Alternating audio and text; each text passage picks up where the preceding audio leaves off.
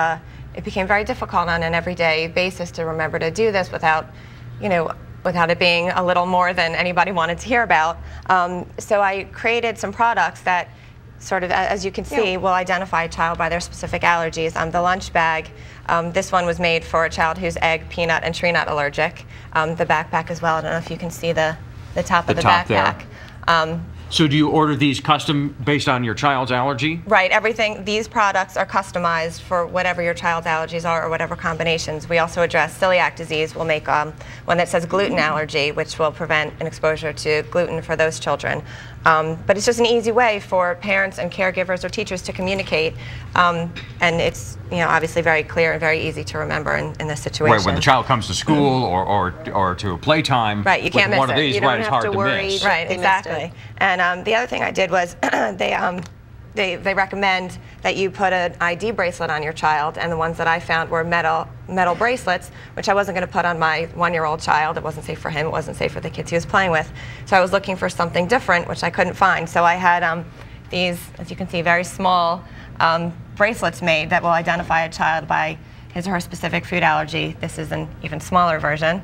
Um, Based so, on the age of the child or the size of the, their exactly. wrist. And, and would a child maybe wear more than one of this? These uh, wristbands if they have more than one allergy? Yes, my son wears two. I know some children who are wearing at most three. We're working on one that will address multiple food allergies so that children who have you know, more than two or three allergies can also be identified and, and it'll be an easy reminder for the people who are taking care of them. And you brought your son's bag. Yes. Which has some interesting things in it. We'll pull that apart and right. show people what... what uh, this is the travel pack. Okay. And it's an easy way for me to carry um, my son's two EpiPens um, in it, we also have, you know, used in case of emergency. Right, right. This is the uh, emergency treatment for an anaphylactic reaction, which is when an airway closes um, as a result of exposure to a food allergen. Hmm. Um, so we have those. I um, always keep a safe snack in here also for my son.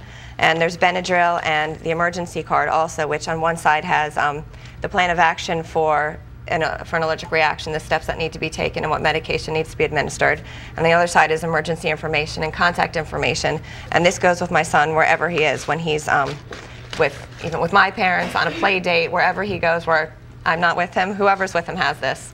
Um, and it's everything that they'll need. It's good information. And yeah. you know, we have a couple of questions from our audience mm-hmm. members. Uh, this one's from uh, Maria Antonio in Philadelphia. Uh, what are the symptoms in children ages 12 and up who are lactose intolerant? Well, there's a difference between an intolerance and a food allergy. An intolerance typically typically manifests itself in gastrointestinal symptoms. Um, a food allergy can have those symptoms as well, but food allergies um, are hives, can range from hives to anaphylaxis and death. So there's a wide, much wider range in uh, reactions for food allergies as opposed to intolerances.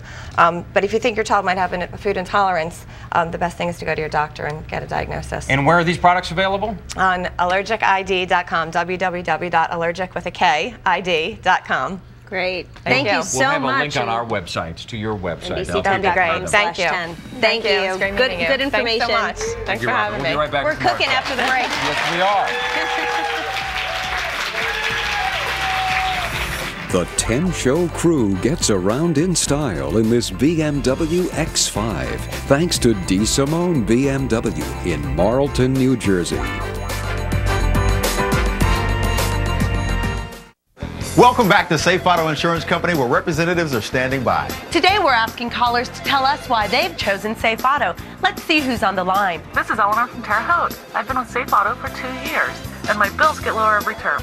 That's great. Who's next? It's Jason from Pittsburgh. My friend lost his license driving uninsured. Not me. Safe Auto set me up in 10 minutes. There you have it. Remember, representatives are standing by. So call now for immediate coverage. 1 800 Safe Auto. We keep you legal for less. Play it safe, Safe Auto.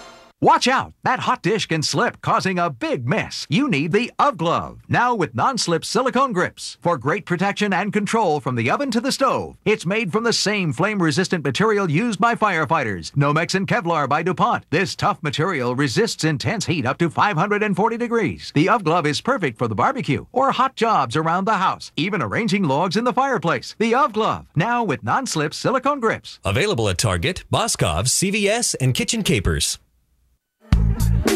Thank you.